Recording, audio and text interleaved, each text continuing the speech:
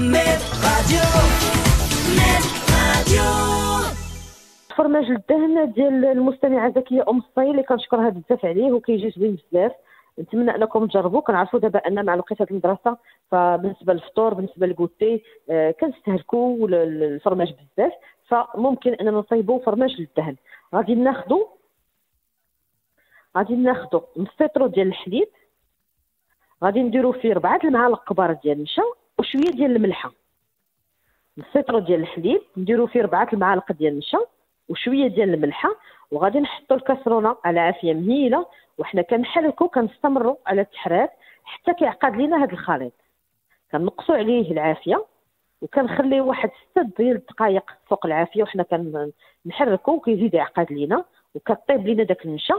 عاد كنزيدوا معلقة كبيرة ديال الزبدة وكنخلطوا كلشي مزيان. حتى كتذوب لينا الزبده في هذاك الخليط ثم كنزيد خمسة ديال الفرماجات مثلثين أولا خمسة ديال الفرماجات مربعين كنزيد جوج معالق كبار ديال الخل أولا جوج معالق كبار ديال عصير الحامض اللي متوفر وعلى حسب شنو كنبغي أنا واش الحامض ولا الخل في هاد المكونات.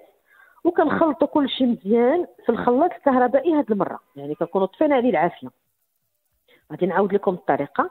هذا فرماج للدهن غادي ناخذوا نص لتر ديال الحليب في كاسرونه غادي نديروا فيه ربعة المعالق كبار ديال النشا وشوية ديال الملحة. وغادي نحطوه فوق العافية مهيلة وحنا كنحركوا وحنا كنستمروا على التحراك حتى كيبدا يعقد لينا هذا الخليط. كنقصوا عليه العافية وكنخليوه يعني واحد ستة ديال الدقائق وهو فوق العافية. وحنا كنخلطوا حنا كنخلطوا بسباتول اولا بمعلقة ديال الخشب حتى كيزيد يعقد لينا وكيطيب لينا داك النشا مزيان. ثم كنزيدوا معلقة كبيرة ديال الزبدة. كنخلطوا ديك معلقة كبيرة ديال الزبدة على داك الخليط حتى كتذوب لينا الزبدة مع ديك السخونيه وكنخلطوا كنزيدوا خمسة الفرماجات مثلثين أولا خمسة الفرماجات مربعين. وكنزيدوا جوج معالق كبار ديال الخل أولا جوج معالق كبار ديال عصير الحامض. كنخلطوا هادشي كله مزيان كنحيدو من العافية كنخليوه حتى كيدفى لينا واحد شوية. وناخذوا كاس ديال الخلاط الكهربائي.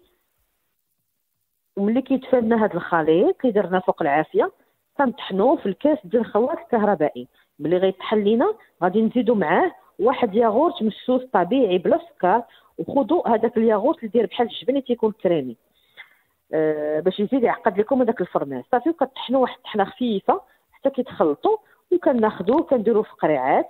اللي عنده اللي فايت مثلا واخد كنعرفوا دوك البواطات ديال الفرماج للدهن كن كنخليوهم كنديروا فيهم بزاف الحويجات فاش كيسالي فاللي عنده هذوك الأنواع ديال الفرماج للدهن دوك البواطات يخليهم ويدير فيهم هاد الفرماج بعد ما صايبو ويخليه راه كيزيد يتقال وندخلو الثلاجه وفي الغد من الأحسن ما تاكلوش اليوم بحال مثلا صايبتو اليوم حتى الغد ليه راه كيجي ممتاز ولا ممكن ديروه في بواطات مربعين ديال الدجاج أو قرعات ديال الدجاج فكيجي زوين بزاف هذا الفرماج.